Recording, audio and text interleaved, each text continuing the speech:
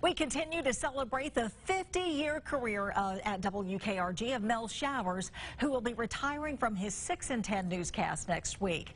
Tonight, the technological changes Mel has seen shape the industry. News 5's Peter Albrecht is here with more. Well, from typewriters and film to digital cameras and the ability to report live from almost anywhere, a lot has changed since Mel Showers became a reporter for WKRG back in 1974. This is the oldest Mel Showers story we believe exists, shot in the summer of 75 on videotape.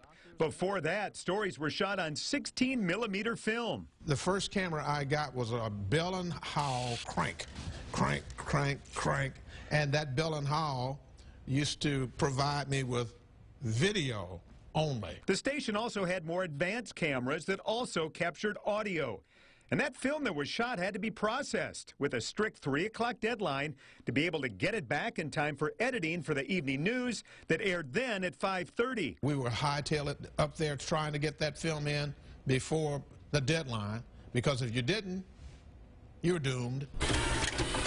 In 1975, WKRG went to what's called Electronic News Gathering, ENG, or UMATIC, three-quarter inch videotape, which unlike film, was reusable. That revolutionized how we gathered news.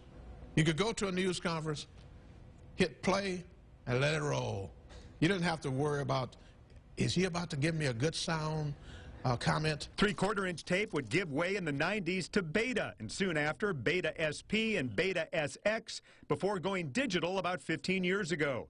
Mel says another big early advancement was the live truck that allowed coverage live from remote locations. That allowed us to enter a new era where we could say, we're going live now to the scene. Back then, before then, we, everything was film. Huge live trucks have now been largely replaced with tiny backpacks that allow reporters to go live from almost anywhere. In Mel's early days, he would often shoot and report his story, a so-called one-man band, now in vogue again thanks to technology. They do that now, but the difference is instead of having to carry all of this bulky equipment, now you can do it with a cell phone.